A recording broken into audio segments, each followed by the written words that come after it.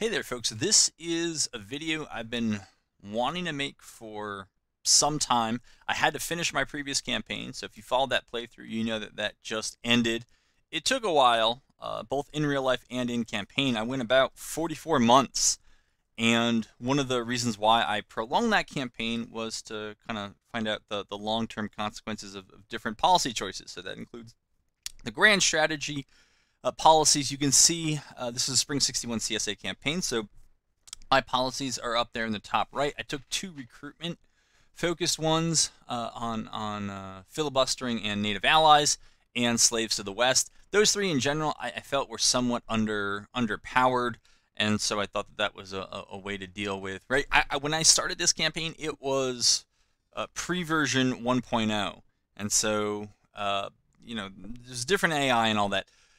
But I felt that taking some weaker policies might might even things out. And so that's that's there. And I'll talk about some of the, the policies and acts I researched as well as uh, some of the fiscal decisions I made about subsidies and tax rates and, and, and all that other stuff. So since there is a lot here, I am going to try to just jump right into it. And I'm going to start out with the effects on recruitment, since two of my three big uh, grand strategies were more recruitment focused. This is what the recruitment picture looked like after six months. You can see the date up there. It's September 1st, right, with the campaign start, I think, of February 15th or so. Uh, we, we actually have a pretty good pool of volunteers uh, six months in. You can see uh, the recruits from Cuba, Nicaragua, and New Mexico territory are all on this screen. And, you know, collectively, they're giving me about 10,000 of almost 70,000. Uh, it's more than 10,000. That's what happens when you, you, try to add quickly. But uh, it's it's probably less than, than 25% of my overall number of, of, volunteers, but you know they're they're there. Okay, these next three, and uh, the reason why it's kind of obscured is because that's how I took the screenshot. I can't really undo it. But this is 18 months in, and so when I report things, when I say it's 18 uh, months in, in, in the other slides that give you graphs, remember that that will show you the, the kind of trailing 12 months in most of those cases. But this is just a snapshot of what it looks like one year after the previous slide. And there are a few here for this one. Uh, but we see that the total is going to be 143,000 volunteers plus 343,000 uh, draftees if I wanted them. This is the second slide here from 18 months in. You can see here that uh, Cuba, Nicaragua, and New Mexico are collectively contributing a good chunk of volunteers. Uh, this is my kind of commentary on it, though. It, it's superfluous. Uh, the, the point has passed in the campaign and it does not return where I'm going to need very, very large armies. And, and I understand from, from talking to people in different fora that uh, you know, some of them have much larger armies on both sides in, in their spring CSA or USA starts. I, I can't explain it, but those are what the, the numbers look like for, for me. So, uh, yeah, it's it's nice to know that they're there. And I did recruit. You can see that I do have some in service, but very, very few. Uh, I think I mostly recruited them in horse artillery but battalions.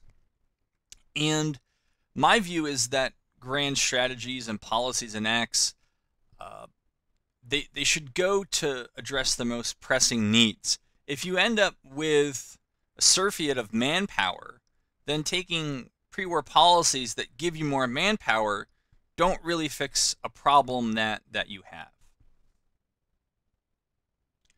And this is just the last one here from I believe this is the last one here from the 18 month re recruitment uh, now this must be a little bit later. I, I must have screwed up the, the, the titles, but whatever. Uh, because here it looks like the numbers for Cuba, Nicaragua, and, and New Mexico are, are slightly off. But this is November 1862, so this is right around the time of the midterm elections in the game. Okay, and this is the first of three slides for 36 months in, or, or just about 36 months in. You can see, again, way more manpower than than I'm ever going to need. Yeah, and the numbers here from Cuba, Nic- Nicaragua, and, and, and New Mexico, they're, they're huge, right? You can't really argue That's 200. It's more than 250,000, or about a third of the total number of volunteers available to the Confederacy at this point, 36 months in. But as you can see, manpower has not been a particular interest of mine. If you look over to the number of men fielded, I have under 200,000. So draftees aren't important to me. Uh, having that many extra volunteers is not particularly relevant to me. All right, some additional stuff here on recruitment. I'll let you, you can pause the screen if there's anything you want to see here, but these are just what the, the numbers look like. You can see the Arizona territory. Uh, all right, we're getting a little bit from that. Indian territory, which I don't think I mentioned earlier, is also contributing significant numbers. And so when all of this adds up, yeah, it's it's a significant overall component, but I, am still not seeing that it, it fixes a problem I, I have. And I don't know why this says slide three. It looks exactly the same. All right, I, I think I'm just going to move on to a different topic, but that's what the recruitment picture looked like for me throughout that campaign. Okay, so I'm into the economy stuff, and the economy and the fiscal stuff is what takes up uh, pretty much the rest of this this video. And so here we have the, the trailing 12 month stuff. This was taken about 12 months, yeah, right, February 15th, 1862. So this is taken one year into the campaign, and this is the economy overview. You can notice that in general, the CSA and the Union economies in general tend to trend in the same directions. When one peaks, the other peaks. When one begins to trough, the other begins to trough. I actually found that a little bit frustrating, although though understandable. And of course, when the Union peaks, they really peak. Uh, as we can see in that, that blip right there, it looks like between November and, and December.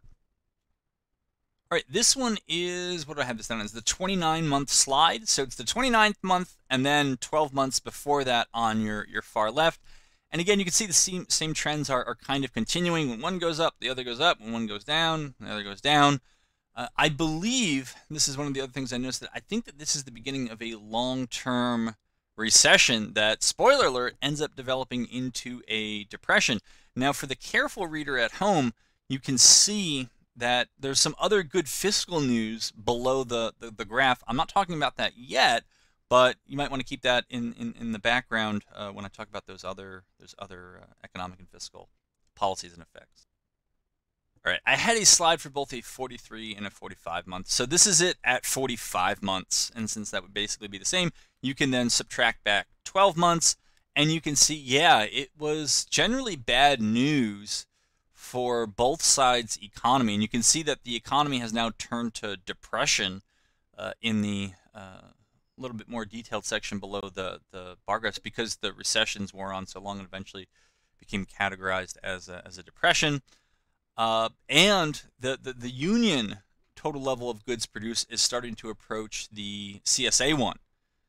So, anyways, that's where it is. And remember, at that point, the, the campaign is just about over, and for all intents and purposes, really had been over.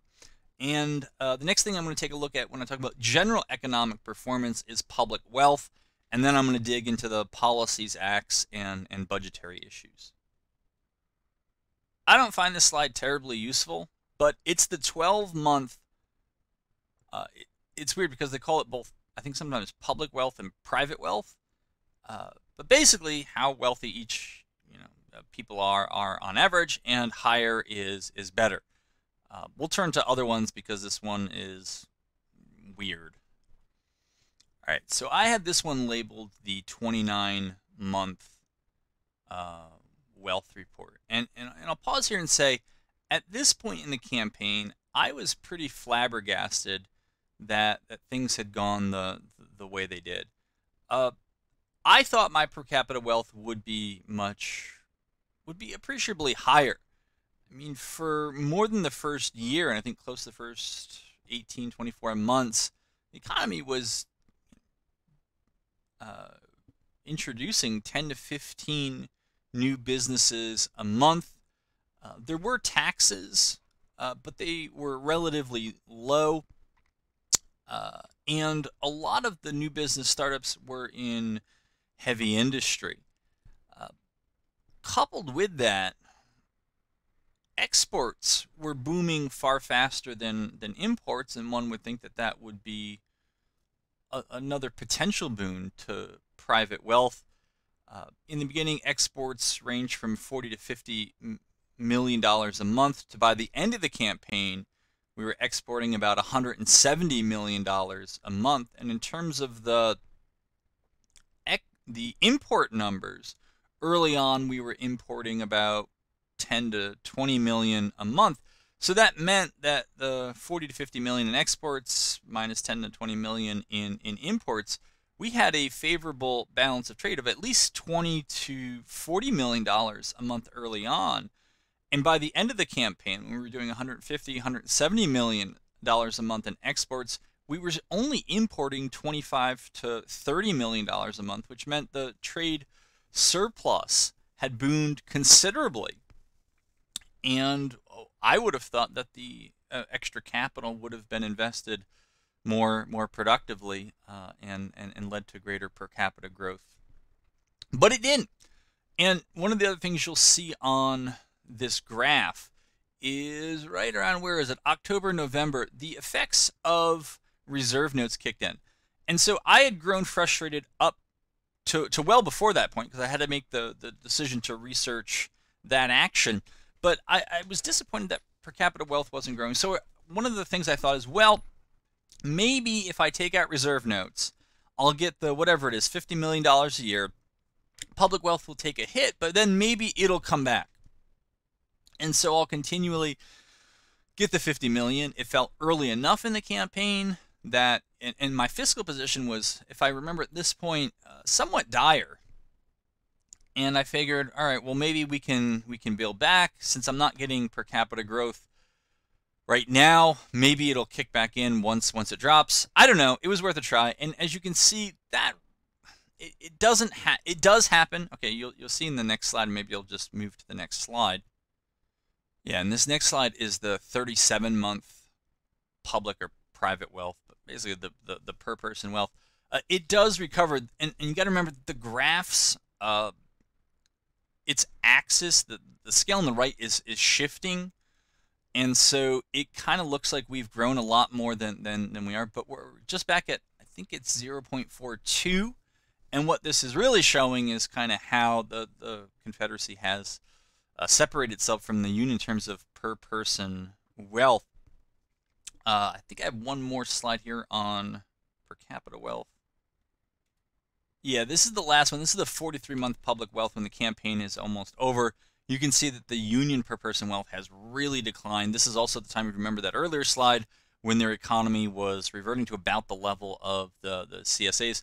And you see the CSA per person wealth, yeah, it is it is rising ever so slightly, but it just felt that for the other parts of, of the economy, it, it didn't feel all that great. And you can see also uh, that at this point, though income tax was higher and I previously had a corporate tax, I began cutting those those things. The only thing I left in place were, were tariffs. Uh, if I were going to do this over again, maybe since the, the, the balance of trade wasn't really leading to a richer per person society, maybe it would make sense to just cut tariffs. Uh, but I will say, well, I, I have something to say about tariffs when I talk about revenue. So I'll talk about what I found when I when I mess with tariffs uh, and the effect on revenue when I when I get there. But I'm not to revenues yet because I want to talk about expenses, and so I'll talk about total expenses and then some of the the, the largest contributing factors to those those expenses. But this this is the first 12 month expenditures for us. You can I mean you can just read the graph, right? Red is CSA, blue is Union, and and and there it is. And here we go at, I think it's 30, 30 months in. Uh, and so 30 months and then the, the 12 months that were, were preceding it. So there's a bit of a gap in, in the graphs, but you can see that my expenses, right, this is expenses, are going to absolutely balloon. And if you're looking on the left-hand side, you, kind of can see why, but not really, because we kind of missed the part where this got really, really bad. And this might be in one of the, the, the slides that are coming up next uh, we're talking about the supply depot, but the, the big reason for that huge arc up, uh, what is that, around January or so, is because of an up. I'll say it's because it was an update to the game. Supply depot costs end up skyrocketing, and uh, things get very economically precarious. But anyways, that was the trajectory uh, going for 12 months going into month 30. And who would have thought it? These are the expenses at month 40. And so this goes from 28 to well, 40, right? So anyways, there that is. You can see that they came down appreciably. And you can't quite see why because I when I took the screenshot, I had the, the cursor over the supply depot, but supply depot uh, costs decrease. So that, that, was pretty good. And you can see that the, the union's uh, total costs do not follow that same trend. They, they do up to a point, but then they kind of get stuck in a, in a peak and a trough, and they, they never really break below that. All right, so some of the factors that really weighed on expenses. This is the you, you can read, right? Cost of supply depots for the, the Confederacy. And in this case, and it's one of the kind of confusing things about these graphs, um, when it goes down on this graph, it actually means the cost is is increasing because it's the the deficit, because you're not making money from supply depots, which you probably should be, right? Because it's listed under the expense column, and so it's it's a little bit I, I think backwards as to what you would expect. The the supply depot costs did not decrease and then increase. They increased dramatically and then they began decreasing significantly over the long term. All right, and this is the screenshot of supply depot costs at 37 months. So it takes into account again the 12 months before that.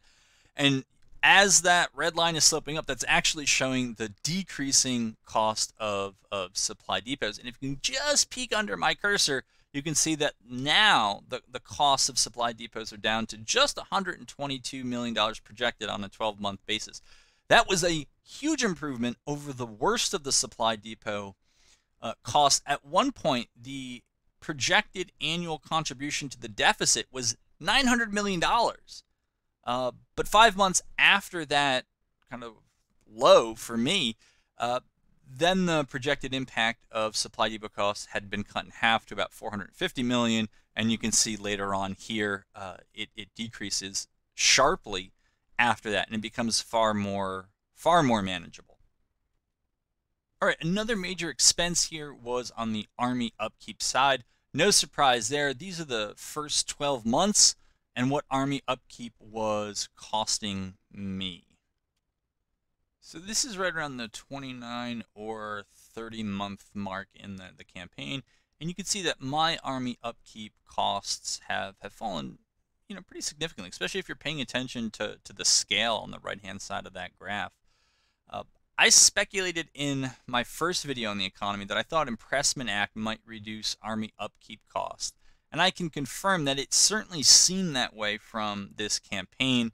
Uh, at least it was correlated with a long-term significant decrease in my Army upkeep costs, uh, which until the supply depot costs kicked in, they were usually my single largest annual expense. Uh, I went through um, a pretty significant round of uh, army buildup in late 1862, early 1863 despite that buildup, my upkeep costs fell to around 50 to 60 million, and, and I think the reason again is uh, passing that impressment act.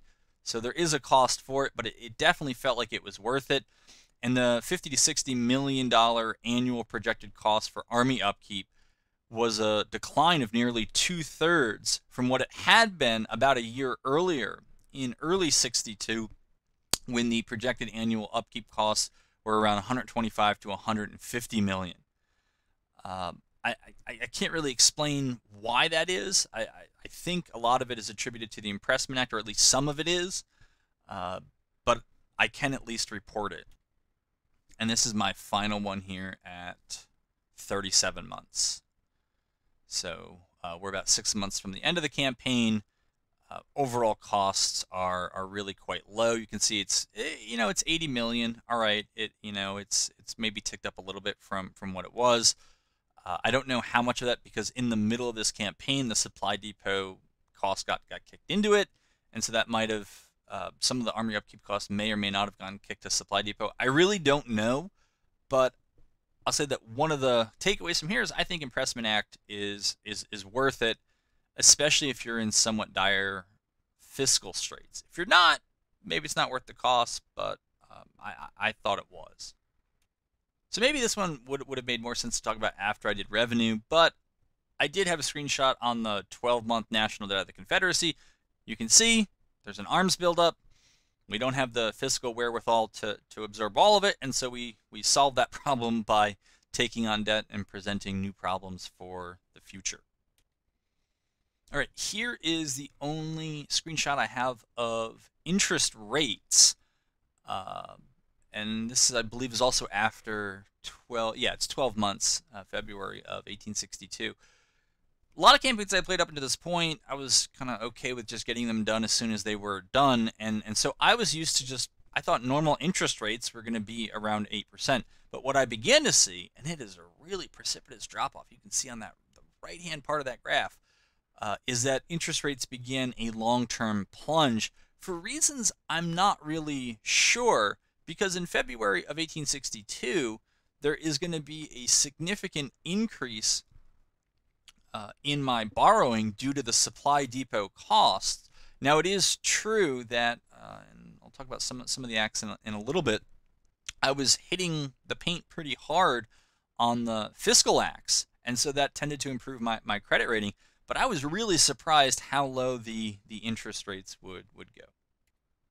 So my very last slide here on costs is the cost, of, the, the projected annual cost of my debt.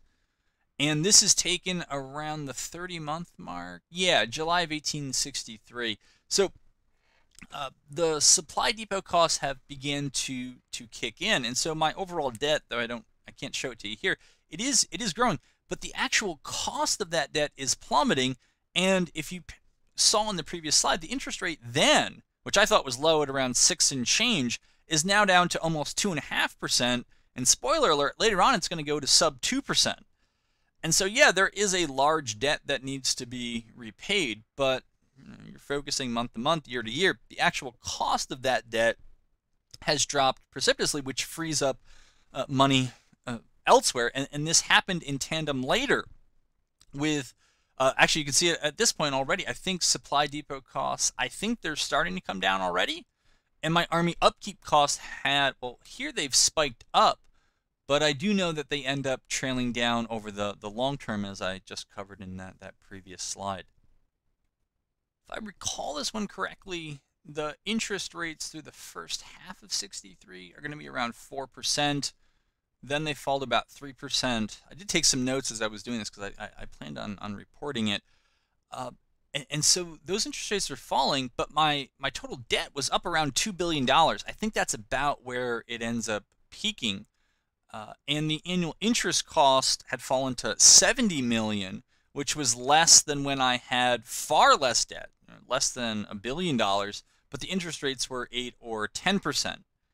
Uh, and I can tell you that by the time I get to 1864, I think it's the spring or summer, uh, the fiscal position so improves that the government begins buying back its bonds, and we end up getting the total debt down to one and a half billion. And at the very end of the campaign, I believe the projected annual interest costs were just 30 to 40 million dollars. All right, the revenue side of things is, I, I think there's less to report. I mean, this is the first 12 months. I cannot explain those spikes. I, I, I maybe those are imports of arms that I, I purchased in the early arms buildup. Um, I, I, find it hard. To, I, I, guess I had diplomacy one done at that point, and maybe we were ordering them from from abroad, and that that accounts for it. Uh, but but there it is. This is the revenue picture at, at 30 months and the, the 12 months preceding it. So one of the things I did, I think it was early 62 or 63, whatever the case was, I slashed tariffs, or at least in my view, I slashed tariffs, tariffs from 50% to 30%. Uh, however, after a few months, we really weren't importing anything. Now, Maybe I should have left him down longer. That's I, I wouldn't be surprised if that's what I was supposed to do. Uh, oh, wait, wait, wait, I'm sorry. I'm doing this wrong. So what happened was I increased tariffs from 30 to 50%. That's but it basically brought in no new money because I wasn't importing much back when tariffs were 30%. So what it really did was sour relations a bit with the, the Europeans. Then what I tried after that, all right, so raising tariffs didn't bring in more money. Well, what if I cut them? And so I cut tariffs down to 25% from 50%. However, what I found after watching the results of that for several months is that it didn't really seem to help the economy at all. It didn't reduce import costs. It did not seem to correlate with a general improvement of the economy. As I've already said, it wasn't correlated with a rise in per capita wealth, but it did help balloon my deficit, which was already under under pressure. I think it happened around the time the, the supply depot cost kicks in. And so I just said, well, we're ending this experiment, jack the tariffs all the way back up to 50%, you know, went full economic nationalism on them, and uh, that was pretty much it. I think I have one more slide here on revenues from late in the war. Yep, this is the last one. This is the 40 month uh, revenue report.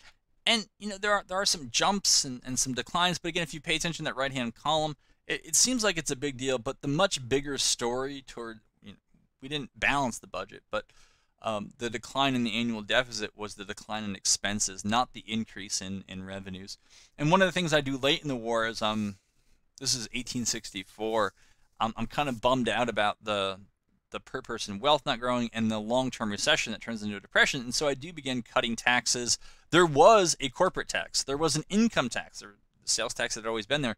And as you can see, I eliminated the corporate tax. Uh, I, I, reduced the income tax. I might have reduced it a bit further. I think I got close to eliminating the, the sales tax. Uh, I have too little too little evidence as to whether that that helped uh, or or not. I thought I had read in in something that Grand Tactician put out. I thought maybe it was the manual, which is that if, if wealth was low, you know, mediocre, not rich, that generally consumption harmed the economy. And so I figured anything below 0.50 was considered kind of low, and so my, my view was don't orient things towards consumption, and so keep the, the taxes on. Uh, I don't know. Maybe maybe they were close enough to being you know a consumption-based economy that I, I could have cut all those costs. We'll never know because I didn't do it, but we'll have to try it again in a, another campaign.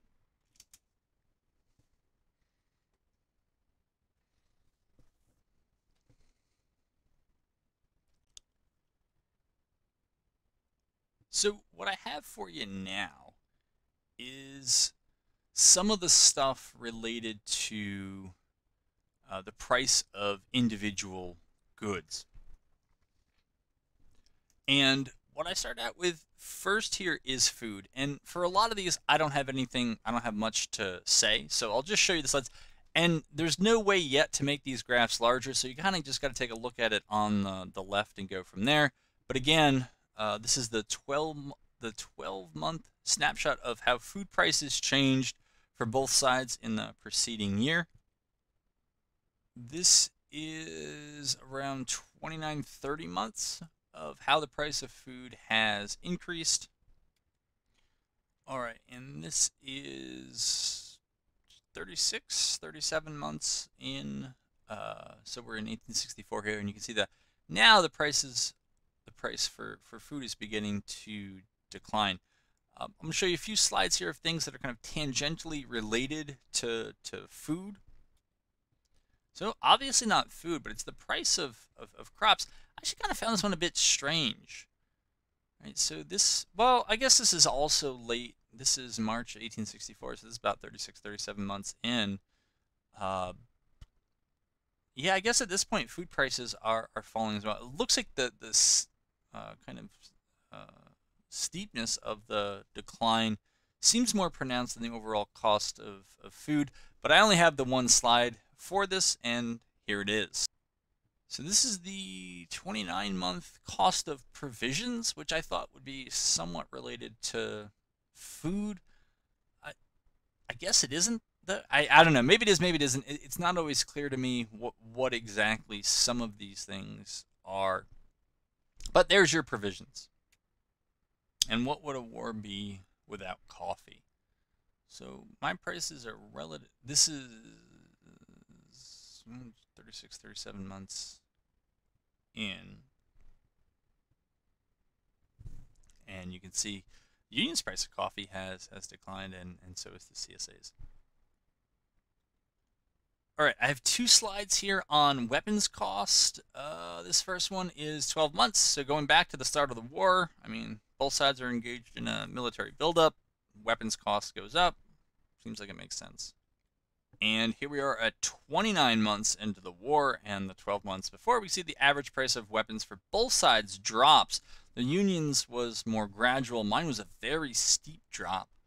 Uh, and then they kind of normalize around similar price levels uh, eventually on the, the right hand side of that graph.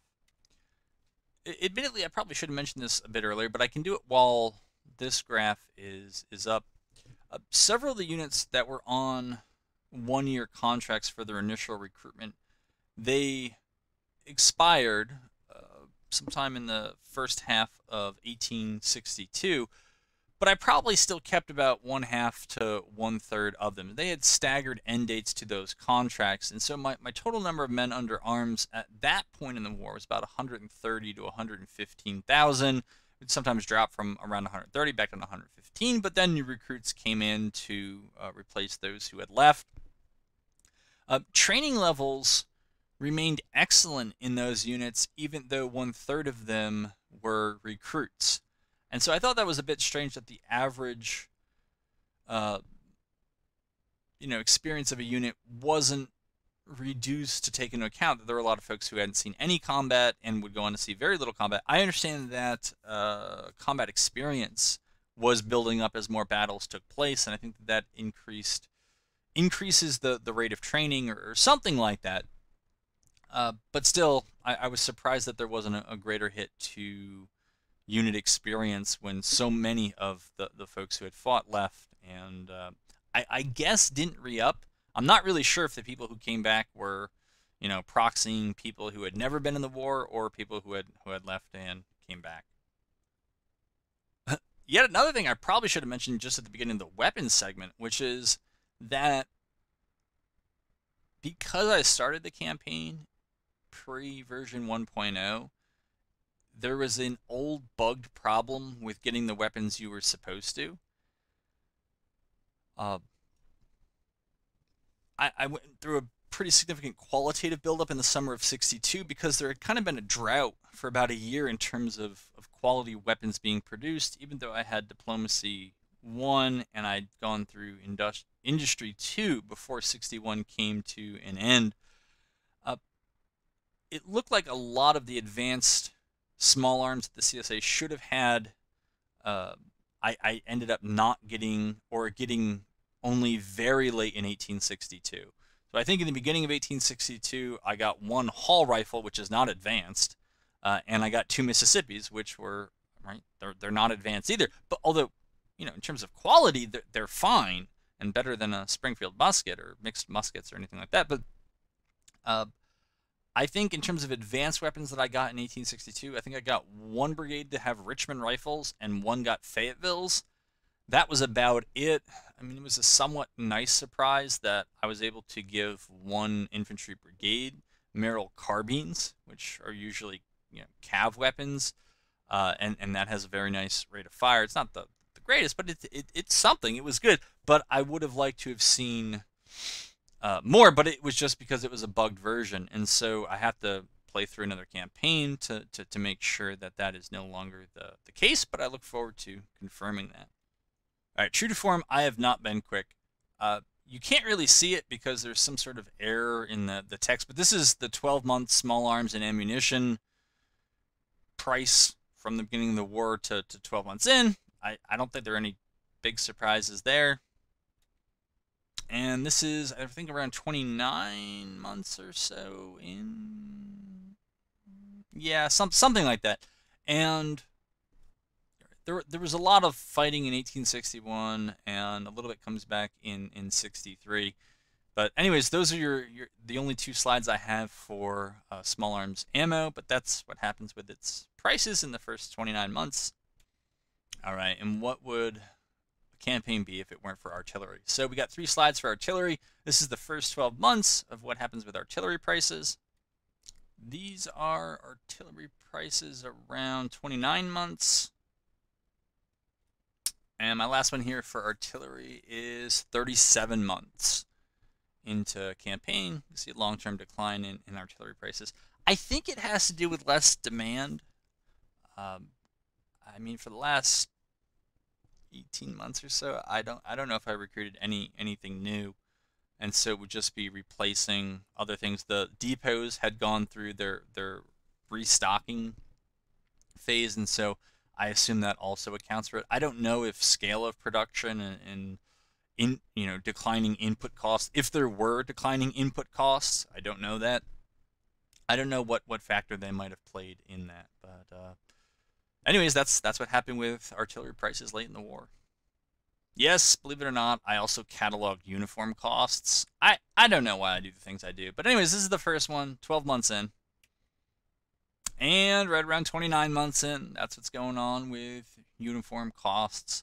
I have requested, and I don't, I don't know if it's ever going to happen, that they can make those graphs a little bit larger so we can actually read them, maybe pop out and go back more than 12 months, but at least a little bit larger because it's not worth ruining your eyesight to, to read. But you get the trend idea.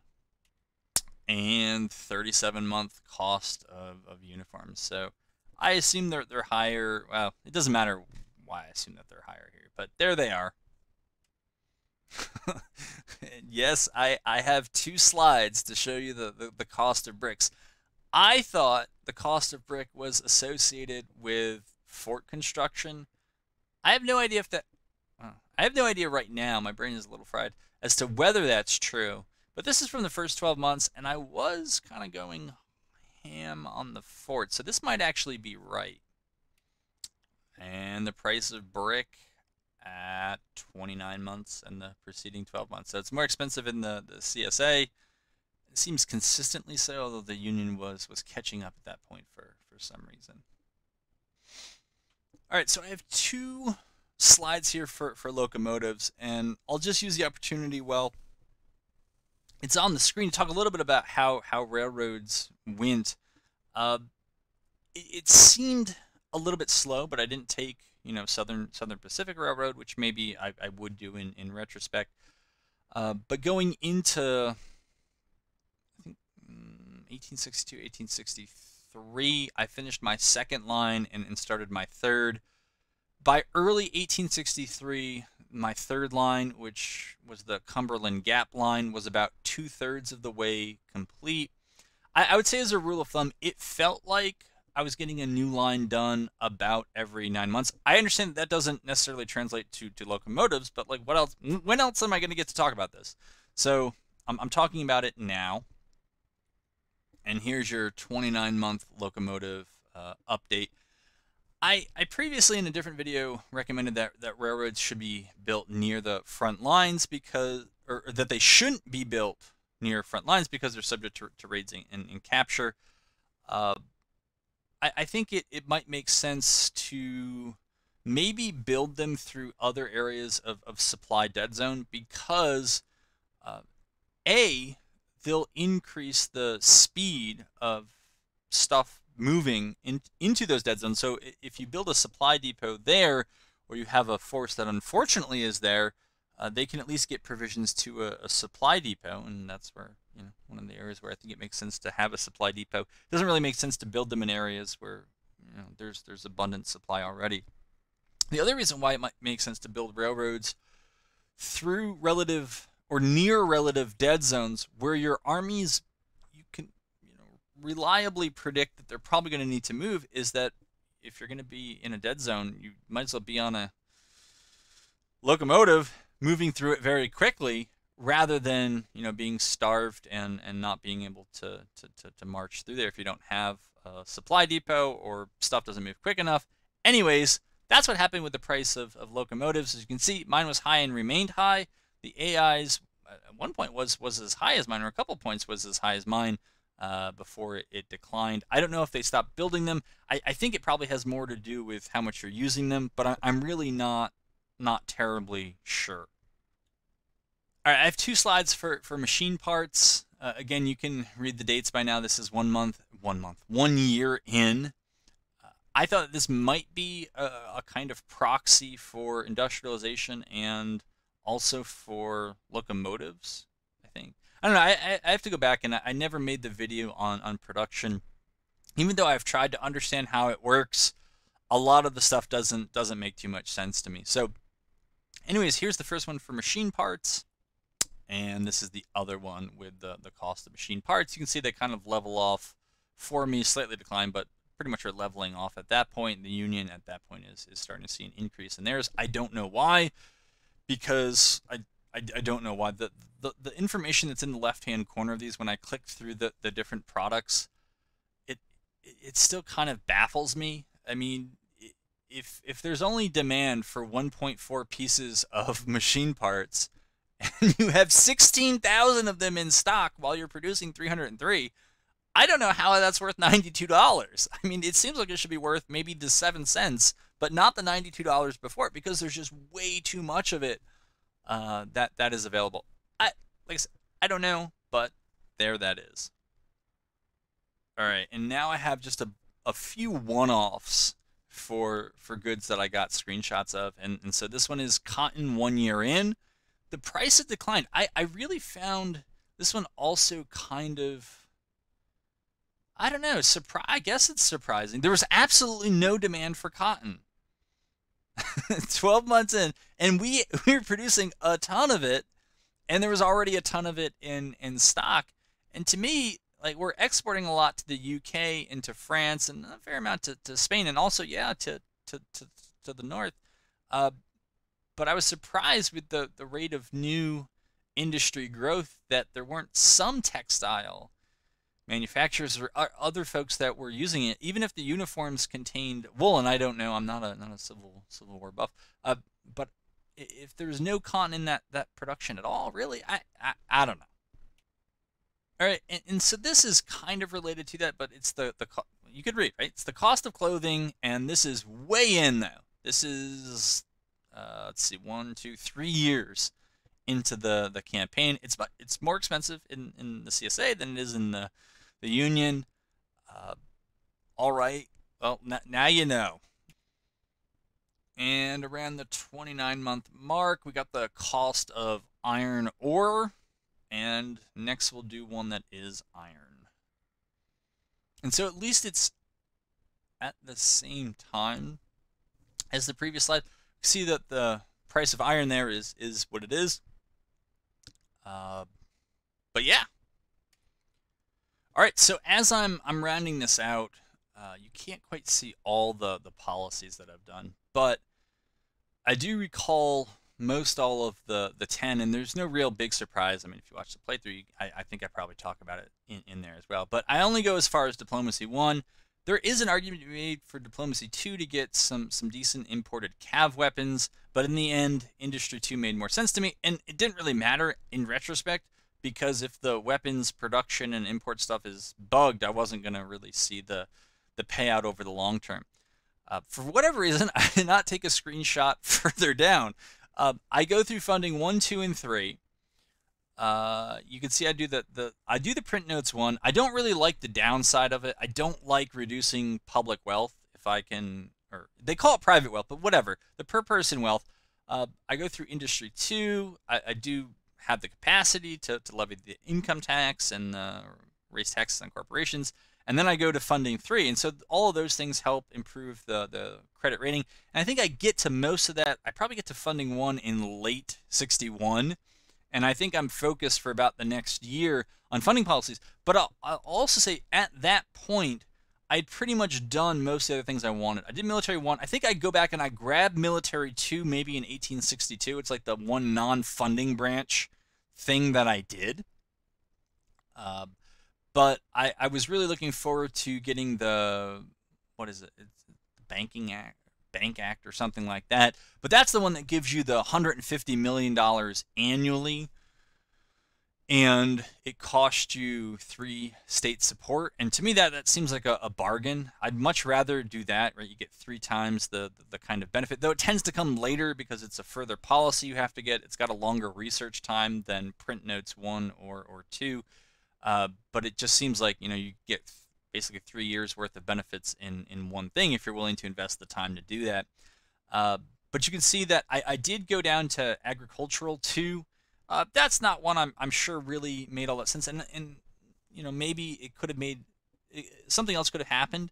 Uh, the campaign itself ends in the 1864 election. That's the only conclusion I have. The union was okay. There were around 30 support or so. And then November happened, and all of a sudden it dropped to like 12. And so I'm interpreting that as uh, Lincoln lost the, the reelection, and that was the, the end of the war. Before I got there, this was around 30, 29, 30 months in. Uh, state support is is low, not because of whatever the Banking Act or, or whatever it's called. It's because I accidentally started raids in Kentucky and I think also Missouri but I also experienced what others have reported of just perpetually low CSA support in in Missouri. I, am not really sure. I, I know how I got it. I ejected the, the, the Union armies from it, but I'm not sure why that would lead them to come over to, to the CSA side if, if they didn't support it more. And in Kentucky, it felt like you got punished real hard, real quick. The, the army was on the border, and I was going to send them into, I think it was southern Indiana or Ohio and I was just getting them in raiding stance right before they jumped across the river. And Kentucky hated me for the rest of the game. I don't think my support ever got above 50%. So, whatever. I, I think that that was later fixed in, in a different in a different patch, and I don't know if it didn't carry over or whatever. I I don't know. Uh, I also found that between here and the end of the campaign, that uh, Virginia's support fell to 80%, which I thought was, was pretty low. I wonder if it's because the Union took Grafton twice before I, I uh, forced them to, to fall back. But the other kind of core CSA states, their, their support was generally pretty pretty good, around 97 or so for, for most of the war into 1864. Though I did notice that national support, so it, it goes up after this. I don't have a slide for it, but I, I think it might be captured in some of the campaign videos it goes up to around 90 and then it starts dropping to 85 and I wasn't sure if that was a, a result of the, the Banking Act policy or, or what. And this is how it ended. So at least I, I can give you the final score. Yeah, national support for me dropped again to 75 after. Uh, I, you know what? I, I was confusing national morale and national support. Yeah, national support just stayed in the mid 70s. And I think it's because Missouri and Kentucky were so low I, I think maybe because Missouri might might be bugged, or maybe it's a feature. Who knows? Uh, and then in Kentucky, I think it might have been that accidental raid, uh, which really turned the, the state against me for the entire war. Uh, anyways, uh, that's that's how it ended. I think that this campaign the economic overview, as much as I've tried to to present and, and cover a lot in a little bit of time, and maybe I did the reverse, I covered a little in a lot of time. It, it, to me, it still raises a lot more questions than, than it answers them. And this kind of feels like back in the day, many of you may not understand this reference. You know, somebody takes a trip and they give you like the slideshow of how the trip went. That's kind of how this this has felt like the slideshow of my trip through the spring 61 CSA campaign. But anyways, uh, and, and, the effects on the, the economy, the other kind of long-term effects of, of different um, decisions that were made. I, said, I think I said this somewhere. I did not design this campaign to have it be an economic walkthrough. It's something I kind of decided like a year or two into it, and I was like, all right, let's just go for it. You know, if not now, I'll I'll never do it. Uh, but when I dig into the goods and trade screen, I didn't have e- I didn't have anything in here even about about trade. Uh, it's really wild, and, and, and I'm not I'm still not getting the the kind of core supply and and demand and price stuff it just doesn't make sense to me. I can kind of understand, you know, input costs leading to, to final products, and I'd like to maybe do a deeper dive, maybe in the, the campaign that uh, I, I might start here, into tracking how the, the price of underlying goods link to changes in, you know, later stage goods. Uh, that might be interesting to, to do. I'd really like to understand how this this stuff works. Uh, again, the, the the grand policies that I, that I took. I, I don't strongly recommend the, the recruitment focused ones, and I consider filibustering and native allies kind of recruitment focused ones. Uh, because at least for me in this campaign, numbers weren't a problem, and so more numbers wasn't really solving a problem that, that I had. I don't really know what the problems were. Probably some quality weaponry, sure. Uh, maybe uh, something to enrich the citizens a little bit, you know, because it, uh, I, I don't know. Uh, and, and, so there are some some policies that do that. I think when you take the railroads, and, and that policy is really coming around to me. You know, it's only a, like a plus two credit rating or something like that, but it increases construction time, uh, and, and you know, I, I felt like I was building about a railroad every a line about every nine months or so on, on average throughout this this campaign, which wasn't wasn't bad, but uh, I didn't finish them all by the time it was was over. Uh, but I, I'd like to know a lot more and do a lot more more digging and maybe get a little bit more information and at least bigger graphs and uh, maybe the historical price of, of certain goods throughout the entire campaign. I think that would be I think that would be cool and maybe also graphs that explain why products it, like a like a late stage product how the prices of the underlying components changed over time affected its its final price along with supply and demand. I think that would be super cool. I'm now getting into a different video where I talk about things that you know I, would like to see and probably won't happen, uh, and and so I'm gonna gonna wrap it here. Anyways, I hope you learned something from this. Uh, certainly, if you've been here this long, uh, you you did. Uh, and uh, yeah, we'll see what's coming next. I don't know. I, I still want to do a, a talk through on unit prefs, and uh, I also want to get another another campaign playthrough going because now I'll finally have a campaign that started post 1.0, and hey, we got the eye candy that are the 3D models. All right, until then, folks, take care.